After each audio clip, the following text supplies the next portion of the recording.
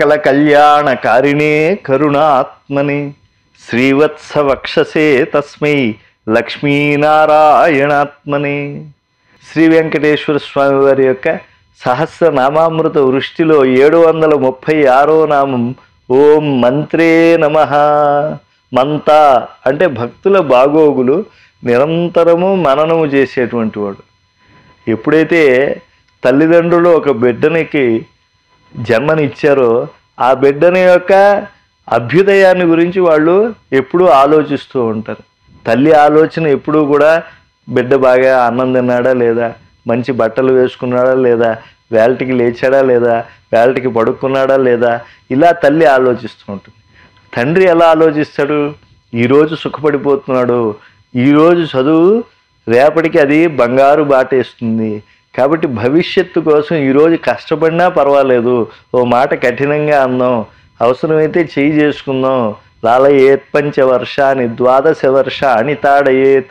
ప్రాప్తేతు షోడశే వర్షే పుత్రం మిత్రవదాచరేత్. భక్తుణ్ణి అనుసరించి భగవంతుడు కూడా అలాంటి పరీక్షలు ఇస్తాడు. ఎందుకంటే ఒక ఐదేళ్ళు వచ్చే వరకు పిల్లవాడికి ఏమీ తెలియదు కనుక అప్పుడు లాలించి వాడికి ఏదైనా మంచి పనులు చేసేట్లుగా మనం చేయాలి. అలాగే ద్వాదశ వర్షాన్ని తాడయేత్ దండం దశగుణం భవేత్ అన్నారు కాబట్టి పన్నెండేళ్ళు వచ్చే వరకు దెబ్బేసైనా సరే వాడిని మంచి మార్గంలో పెట్టాలి. కానీ ప్రాప్తేతు షోడశే వర్షే పుత్రం మిత్రవద ఆచరేత్ ఓ పదహారేళ్ళు వచ్చేసి అనుకోండి వాడికి ఒక మానసికమైనటువంటి పరిణతి వచ్చేటువంటి ఆ యొక్క చారిత్ర నిర్మాణం అనేటువంటి దానికి ప్రారంభం అవుతుంది కనుక వాడిని కొట్టేయకూడదు తిట్టేయకూడదు. ఒక మిత్రుడితో ఒక మిత్రుడు ఎంత ఆ యొక్క మాటని అందంగా చెప్పి మంచి మార్గంలోకి సన్మిత్రుడు నడిపిస్తాడో అలా మాట్లాడాలి. కాబట్టి జగత్పిత కూడా వాడు బాలభక్తుడైతే వాడిని చేయి పట్టుకుని నడిపిస్తాడు. ఆ భక్తిలో కొంత పరిణతి వచ్చింది ఇంకా పరిణతి రావాలి అని అంటే వాడిని కొన్ని పరీక్షలు పెడతాడు. అలాంటి శలాక పరీక్షలకి ఎదురైనటువంటి వాళ్ళే త్యాగరాజస్వామి రామదాసు అన్నమయ్య ఏమిటండి భక్తులంతా చెరసాలకి వెళ్తారు? కొరడా దెబ్బలు రాజుల దగ్గర తింటారు. ఎన్ని బాధలు పెట్టాడండి భగవంతుడు? ఇవన్నీ లేకుండా చేయొచ్చు కదా అంటే హేమ్న సంలక్షతే యజ్ఞో విశుద్ధి శ్యామికాపివా బంగారాన్ని అగ్నిదగ్ధం చేయటం అంటే బంగారంలో ఉండేటువంటి మెరుగులను బయట లోకానికి తెలియజేయటమే. అందుకే భక్తుడు పరీక్షకు గురయ్యాడు అని అంటే అతని యొక్క వృత్తాంతం లోకమంతా కూడా తెలిసిపోతుంది భగవంతుడికి ఆయనకి. వెళ్ళలేనటువంటి బంధం ఉంది అని చెప్పి. అందుకే బాల ప్రహ్లాదుడి మీద దెబ్బ తగిలితే అది శ్రీమన్నారాయణుడికి తగిలింది. బాల ప్రహ్లాదుడికి విషయం పెడితే శ్రీమన్నారాయణుడు ఆయన చాలా విలవిల్లాడిపోయాడు. అదే బాల్యం నుంచి యౌవనంలోకి వచ్చినటువంటి భక్తులు బాధపడితే వాళ్ళే అనుభవించారు రామదాసు వీళ్ళంతా కూడా. అంటే వాళ్ళ పూర్వకర్మలన్నీ నశించే వాళ్ళకి భగవంతుడు ఉన్నాడా లేడా అనేటువంటి భావం పోయింది. కలడు కలండనేటి వాడు కలడో లేడో అన్నంత మడుక్కు గజేంద్రుడు బాధపడుతూనే ఉన్నాడు. నీవే దిక్కు ఇతఃపరం బెరుగా అన్నప్పుడేమో ఆయన సుఖపడ్డాడు. అలాగే ఎవడబ్బ సొమ్మని కులుకుతూ తింటివి రామచంద్ర అన్నప్పుడేమో దెబ్బలు తినాల్సి వచ్చింది. అబ్బా ఈ దెబ్బలు తాళలేనయ్యా అని చెప్పి బాధపడ్డాడు. అదే కనుక అయ్యా అంతా రామమయం అని చెప్పి ఆ రామనామ గానాన్ని చేస్తూ ఉండేప్పటికీ చెరసాల తనంతట తానుగా రామోజీ లక్ష్మోజీగా వచ్చి విడుదల చేసేట్టుగా ఆయన చేసేసాడు. అంటే చెరసాల తలుపులు అవంతటా అవి తెలుసుకున్నాయా? భటుల చేతే తెరవబడ్డాయి. కానీ భటులు తెరవటానికి ఈయన రామదాస్ చేసింది ఏమన్నా ఉందా? ఏమీ లేదు. ఆనందనందనుడు అమృతరస చందనుడైనటువంటి రామచంద్రుడిలో ఎటువంటి కళంకం లేదని గుర్తించాడు. కాబట్టి ఇటువంటిది రెండో దశ. ఇక అత్యద్భుతమైనటువంటి దశకు వచ్చేస్తారు. అక్కడ భగవంతుడు మిత్రత్వం. నాయన నీకు ఇంక అసలు ఏమీ నా యొక్క ఆలోచన తప్పించి మరొకటి ఉండడం లేదు.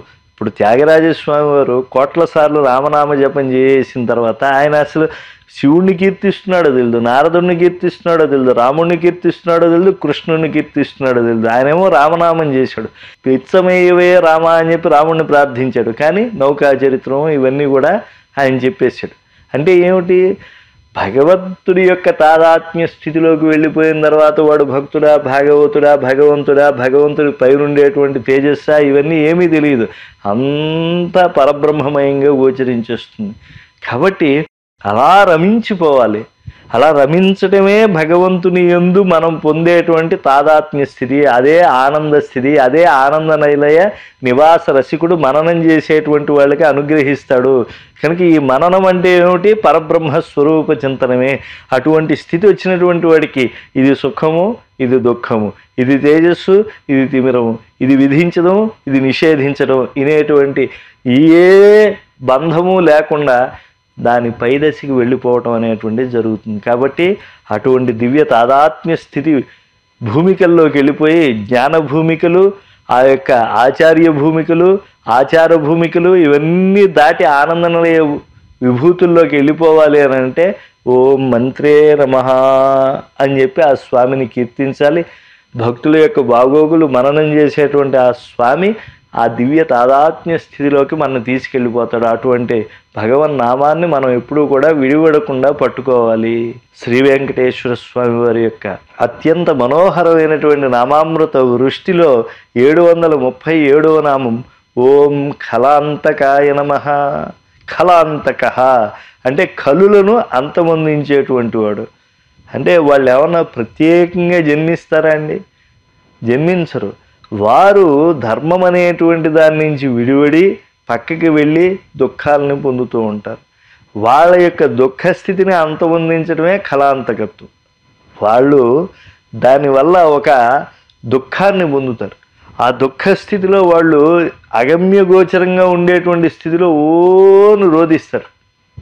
బిడ్డ తల్లి యొక్క పాలను తాగిన తర్వాత ఆ పాలను ఆ జీర్ణం చేసేసుకుని ఆడుకునేటువంటి ఆ యొక్క క్రీడను మరిచిపోయి ఉండేటువంటి వస్తువులన్నీ పగలగొట్టేస్తూ ఉంటే ఒక అసభ్యకరమైనటువంటి ప్రవర్తన వచ్చేస్తే అప్పుడు చాచి వీపు మీద ఒక దెబ్బేస్తుంది తల్లి ఏడిచి నిద్రపోతాడు. మళ్ళా సుకుమారమైనటువంటి బుద్ధితో అమ్మ దగ్గర పాలు తాగి అలా ఆడుకుంటూ ఉంటాడు.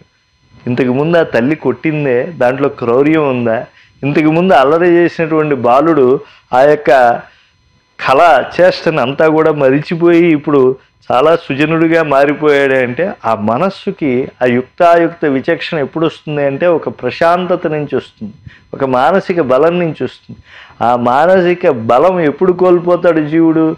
అనేక జన్మలు ఎత్తేసి అనేక కర్మలు చేసేసి విపరీతమైనటువంటి దుర్మార్గ ధోరణిలోకి వెళ్ళిపోయి ధర్మాధర్మ విచక్షణ ఏమాత్రం లేకుండా జీవుడు ఒక భయంకరమైనటువంటి అవస్థలోకి వెళ్ళిపోయి భగవంతున్నే తిట్టేటువంటి ఒక కంసుడైపోవచ్చు భగవంతుడు అంటేనే ఆ ఒక ద్వేషం వచ్చేసి అన్ని చోట్ల భగవంతుడే ఉన్నాడేమో ఆయన్ని ఏదో మనం చేసేయాలనేటువంటి ఒక ద్వేషం వచ్చేసి భగవద్భక్తులు ఆప్తులైనా సరే వాళ్ళని చెరసాల్లో పెట్టి కొట్టించేస్తూ ఉంటే ఆ కంసుని సంహరించడం భగవంతుడిని తెలిసి అసూయ పడిపోయి అనసూయతో ఉండాలి భగవత్ చింతనతో అనేటువంటి లక్షణం లేకుండా అయ్యో రాజన్యులంతా పూజిస్తున్నారే గంగాపుత్రుడైనటువంటి భీష్ముడు కూడా గౌరవిస్తున్నాడనేటువంటి విచక్షణ లేకుండా భగవంతుని అనరాని మాటలంటే ఒక శిశుపాలుడైపోతే అటువంటి పశు ప్రవృత్తి కలిగినటువంటి వాడిని ఒక తోడేలు లక్షణం కలిగినటువంటి వాడిని ఒక సింహం ఎలా అయితే పరాక్రమంతో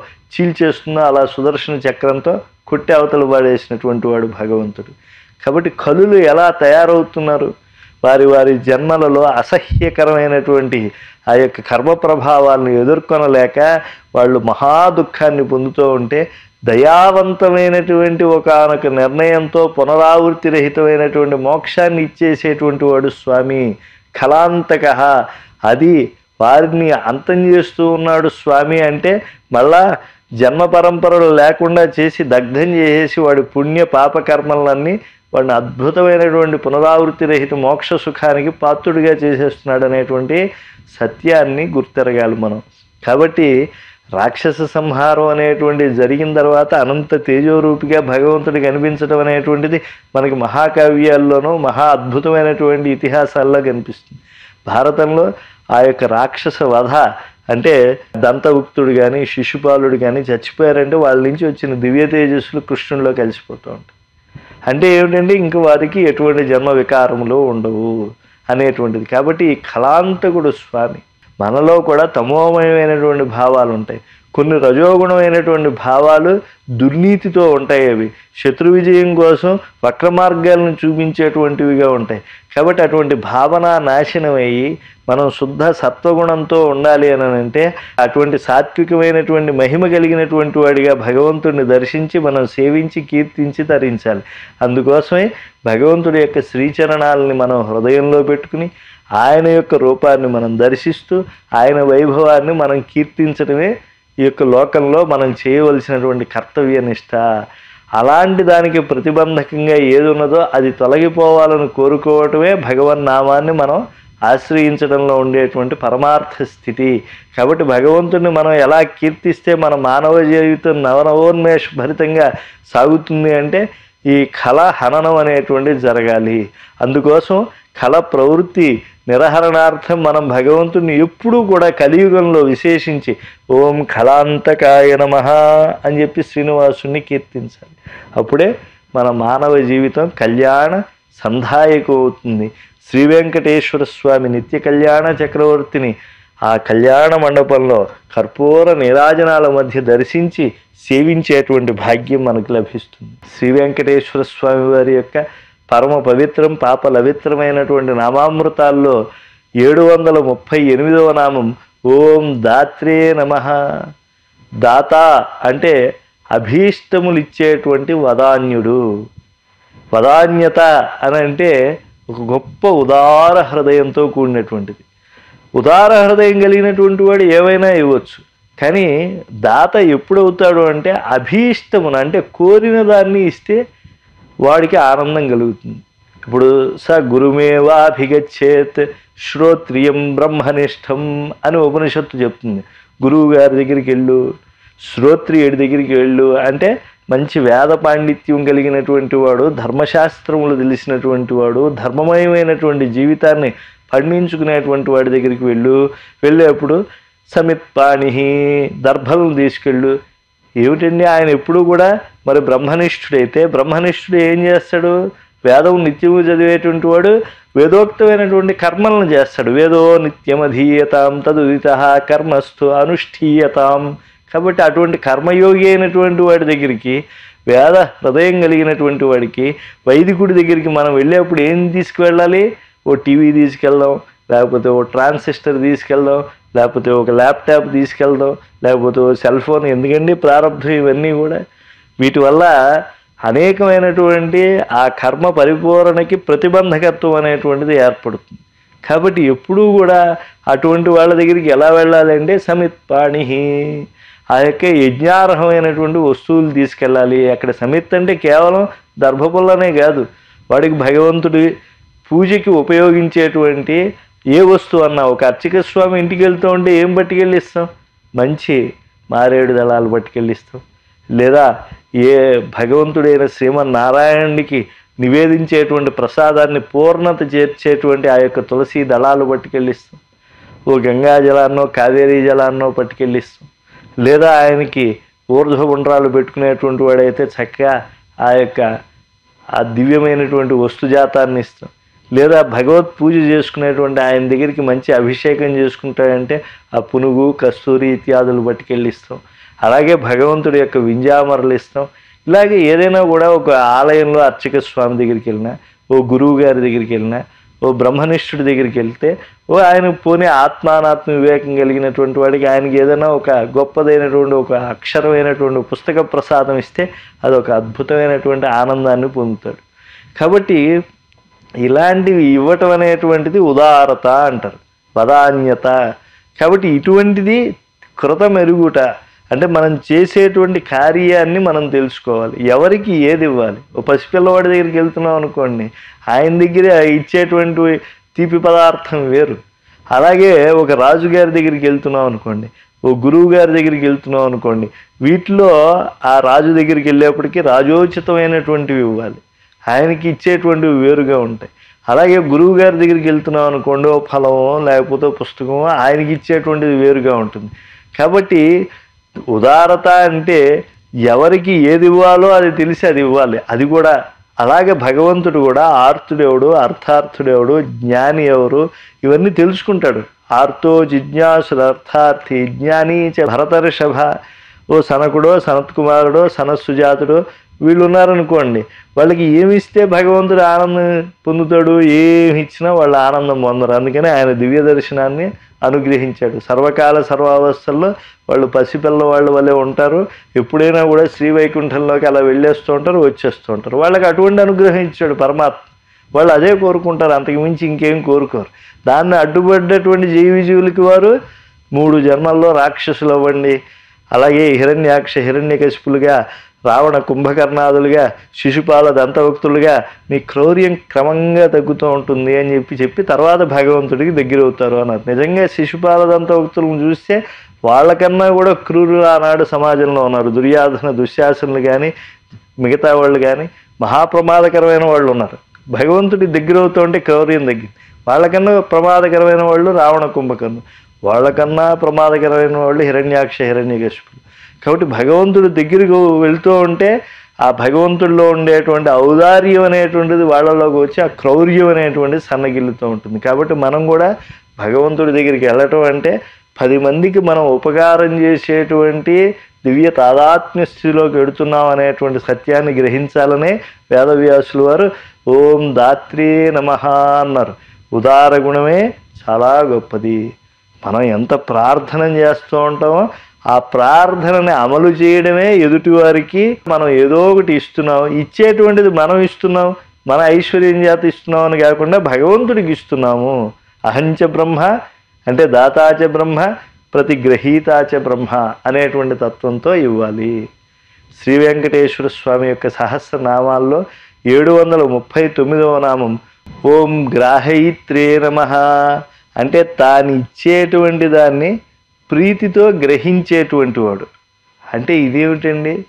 అంటే ఆయనే ఇచ్చేటువంటి వాడు ఆయనే స్వీకరించేటువంటి వాడు. అంటే భక్తుడుగా కనిపించేటువంటి ఆ యొక్క గొప్ప దీక్ష భగవద్దీక్షే అంటే ఏమిటంటే భగవంతుడు యొక్క మనస్సు ఎలా ఉందో దాన్ని తెలిసి ఎప్పుడూ కూడా కర్మాచరణ చేసేటువంటి వాడు భగవంతుడి వలె భాగవతుడు కూడా విరాజిల్లుతూ ఉంటాడు. అంటే మన స్వరూపానికి అద్దంలో మన ప్రతిరూపం ఎలా కనిపిస్తుందో భగవంతుని యొక్క విభూతి అంతా కూడా ఆచార్యుల్లో కనిపిస్తుంది. భగవంతుల్లో కొన్ని కళ్యాణ గుణాలు దర్శిస్తాం. అవే భాగవతుల్లో కనిపిస్తూ ఉంటాయి. కర్త కారయిత ప్రేరక అనుమోదక చత్వార సమభాగిన అంటారు. ఇక్కడ ఇచ్చేటువంటి దాత ఆయన అని చెప్పాము.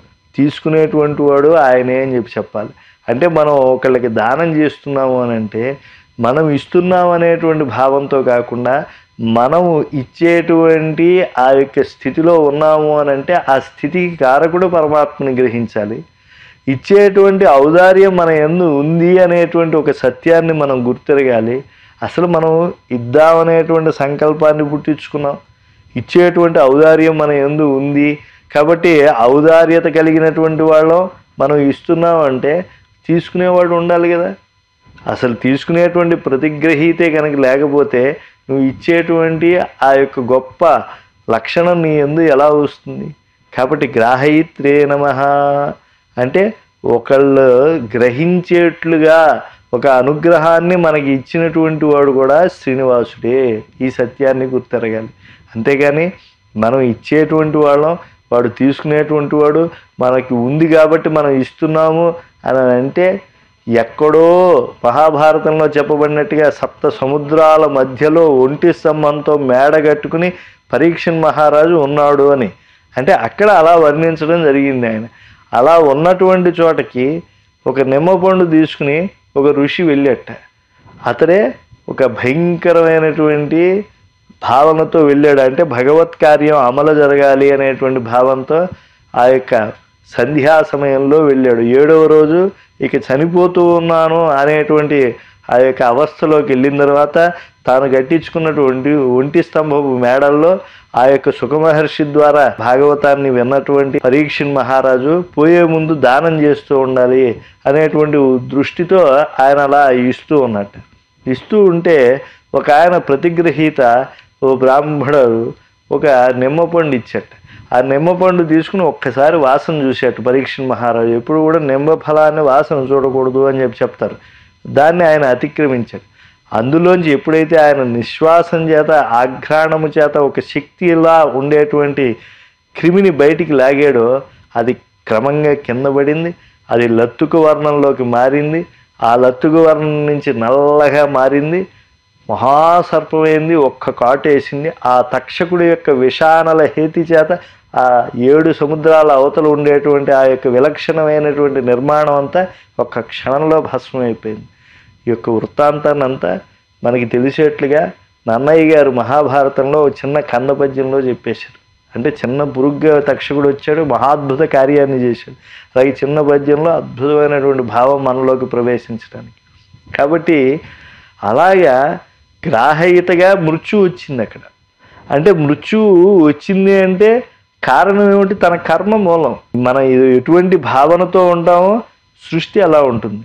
కాబట్టి ఆ భావన గ్రాహి అయినటువంటి వాడు ఆ యొక్క జనార్దనుడు. కాబట్టి మన యొక్క భావన ఎప్పుడూ పవిత్రంగా ఉండాలి. అది ఎప్పుడూ పరిణతి చెంది ఉండాలి. మనం ఇచ్చినటువంటి దాన్ని భోగం కోసం వాడుకోకూడదు. ఒక యోగం కోసం వాడుకోవాలి. ఇలాంటి దానిని మనం ఇచ్చేటువంటిది అంతా కూడా భగవంతునికి ఇస్తున్నాం. ఆచార్య రూపంలో ఈ యొక్క సృష్టి అంతా కూడా నిర్వహింపబడుతోంది. ఇలాంటి పవిత్ర భావాలతో హృదయం నిండిపోవాలంటే ఓం గ్రాహైత్రే నమ. స్వామి నా దానములన్నీ కూడా స్వీకరించేటువంటి ఒక స్వరూపముగా భగవాన్ నువ్వే ఉన్నావు శ్రీనివాస.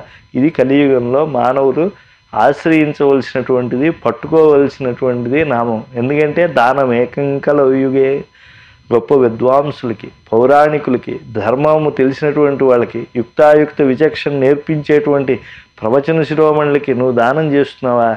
పరమేశ్వరుడికి ఇస్తున్నావా? అనేటువంటి భావంతో ఇవు పరమేశ్వరుడు నీ ముందు తీసుకుంటూ ఉన్నాడు. ఈ రూపంలో వచ్చి అని గ్రహించు అనేటువంటి విచక్షణను బోధించేటువంటి నామం ఓం గ్రాహైత్రే నమ. Thank you.